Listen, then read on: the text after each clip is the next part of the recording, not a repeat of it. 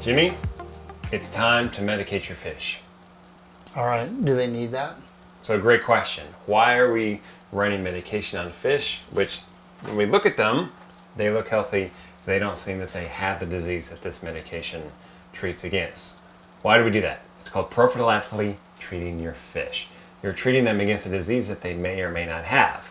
In this case, we're going to use Seachem's cupramine, that's copper treatment. We're going after two main diseases, ick and marine velvet. So these are the diseases that I'm most concerned about getting into a saltwater tank. I had velvet in my tank, it wiped out nearly all my fish. Mm. Ick is something that's not as lethal as velvet, but ideally you would not have it in your tank. The thing about both of these diseases are there's plenty of documented cases of fish not showing any disease, of signs of the diseases, but the fish still have the disease. Because if the fish has the disease, going to look like pinhead size white dots all over the fish. Marine velvet, it looks like the fish got hit with powdered sugar. And the sad thing about marine velvet is it moves very fast. In a way, you're lucky that if you see it on the fish, then you know why your fish are dying. What usually happens is your fish just fall off for no apparent reason. So just because you don't see it on the fish doesn't mean it's not on their gills. Now you and I and most everyone watching these videos is not qualified to take the fish, clip off some of the gills and look at it underneath a microscope. So if we're prophylactically treating them, how long does this take to know that it that it's done whatever it needs to do?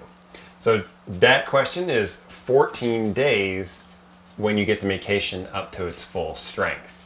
You got to understand the life cycle of the disease. Both of these diseases are parasitic diseases. They need a host and they live on the fish. Part of their life cycle is on the fish feeding, then they fall off, they hit a hard surface like rock or glass or PVC pipe, anything where they can bond to. They form a cap over themselves, they start multiplying, then it bursts and the little guys swim out and attack the fish and the process starts all over again. So you're only going to be effective with the medication while the disease is in its free swimming stage. While it's on the fish, while it's encrusted on the hard surface, this stuff is not going to be helpful. So okay. We have to run this for at least 14 days but there's a catch to that, and it has to do with how you safely move this, use this medication. Because some people will say certain types of fish are sensitive to copper medication and you shouldn't use that. That's true like sharks, eels, we don't want to treat them with copper. That being said, I've had plenty of success using cupramine properly on fish that even are seemingly sensitive. Dragonets, pipefish, tangs, I have no problem using that when it's done properly and I have some tricks to that, which I'll talk to you about. So, is it a daily treatment? You said for 14 days, so I'm right. going to be doing something daily? No, we're adding it to the tank, we're getting it to a concentration, and we're maintaining that concentration for 14 days, and then we can remove the medication from the water. Okay, so that's what my test kit is? Right. So if we're using cupramine, there's a couple important things we got to have in place first. You got to have the cupramine. I like to use this copper. This is cupramine from Seachem. You want the Seachem test kit because this can test effectively for this type of copper. For okay. different types of copper, you want the test kit from the same manufacturer of the medication. Then we want our salinity in the tank where we're testing to be 1.025, 35, 34, 36 ppt, normal reef tank salinity. You don't want to be hyposalinity when you're using copper. Hypo meaning low. Correct. The last piece of this is you got to remove any chemical filtration. These filter bags that come with the hang on back filter. They have activated carbon in there. They'll pull out the medication. So if okay. you have these pads, you got to pull them out. Okay? So we have all that in place. Then we start the slow ramp of our copper. We get it to the recommended concentration, 14 days. Then you can do a large water change, put your filter pad back in there. What I like to do afterwards is continue to watch the fish, make sure they're eating, and then they're done with their quarantine. All right. So doing a copper treatment that's not going to shorten my quarantine time. I can't go, oh, okay, I took care of these two things in these 14 days. Now I can put them into my display tank after 14 days. Right. One of my success for using cupramine is that I bring it up very slowly. We want to get to an ending concentration of 0.5 uh, milligrams a milliliter. So, but we don't want to go from zero to the full concentration. So we okay. start slow. And it says that right on the bottle. It says that right on the okay. bottle. And I even go more conservative, especially with sensitive fish. Put in half the recommended dose the first day, You know it's not going to be enough. It may not even register on the test kit, but that's okay. We're starting slow. Next day, run your tests.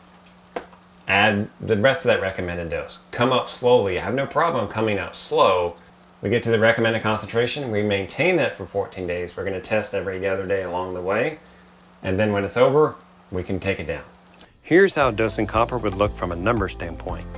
The recommended dose for my quarantine tank is 4 mils on the first day. Day one, I'm going to dose half that amount, so 2 milliliters. Then I'm going to wait 24 hours. Day two, run my copper test. I know I won't be anywhere close to the recommended concentration of 0.5 milligrams of milliliters, and that's okay. We're going slow. Then add the other half of the recommended dose. Wait 24 hours. Day three, test. We still won't be near the recommended concentration, and that's okay. Add the full recommended daily dose amount. Then wait 24 hours. Day four, test. Based on the results, add the recommended daily dose if you're far off from the 0.5 milligrams of milliliters that we're aiming for, or half the recommended daily dose if you're close. Wait 24 hours. Day five, test and repeat as necessary. Okay, Mark, so once I get my copper started and I get it up to full concentration, what kinds of things should I look for that would I would maybe stop it? Couple things. One, I would also be very attuned to these things, same things when you're ramping up your concentration. Okay. I want the fish eating and eating well before I start. If they stop eating, I'm going to stop the comp- copper concentration. I may even do a water change, pull it out, hmm. see if they go back to food to see if they're sensitive to the copper. Okay. Same thing if I have it on full concentration. If they stop eating, okay, maybe they don't eat that day. I'm not saying stop immediately. The next day, if they still don't eat, they seem happy, you know, they're swimming around as normal, they're not acting dull, then I might pull out the copper, get them back on the food, and try again. All right, so I'm basically watching the fish behavior, see if their behavior changes and if their eating changes. How about the water? Am I going to do any other testing other than the copper? Do I need to do It wouldn't hurt to do an ammonia test or a nitrate test. Fish are, it takes a lot really to affect them with nitrate. Even with ammonia, you gotta have a fairly high concentration for a long amount of time. But if you see stuff really starting to climb, you can do a water change and then you can add back your copper as quick as possible. So if they're at full concentration, let's say you did a half water change, you can add back in what you need to get it back up right away. The other nice thing about this test is it includes a reference because it's a color test. You look at it, the color that the test comes Oh, out you in. slide across and you see it? Yeah. Okay. But it includes a reference solution for full concentration of copper. So you're like, well, I don't, I don't really know on the slider card if that's it. You just run the same test with a reference solution. Then you can look at them next to one another and go, that's where I'm supposed to be. Am I next to this? And you can compare them right there. Okay. Once you've done 14 days of the recommended concentration of the cupramine or the copper, then by the books, those fish are clean of marine velvet and ick, and they could go in your display tank. Okay, so if I got new fish and I started them right away on this, marine velvet ick are your main concerns why we quarantine. Mm-hmm. So you're saying I could, if I got new fish, I could quarantine only two weeks. You could if you want it. Like per se, if we're just going against those diseases, yes. Look, I'm going to give it a week to get the fish in, get them comfortable, and then ramp them up. Okay. But as soon as you've done your 14 days at full concentration, if you wanted, you could pull them out and put them in your So tank. what I hear you saying is a week getting a meeting and then start the copper treatment. So a realistic is still a three week. Probably quarantine is the best idea. And if you want to keep them for another week afterwards just to observe them, All right. Well, I just get excited to get them in the big tank. Well, I, so I mean, this this is in my game room, and I don't come in here. I just come in here to feed them. They don't get looked at very much, so you know, I'm more excited to get them in. I don't want them in my quarantine tank. So, yeah, let's do the copper treatment. All right, we'll get it started. Let's pull this filter out of the back, Hmm. do a water change, and start up on this concentration. All right.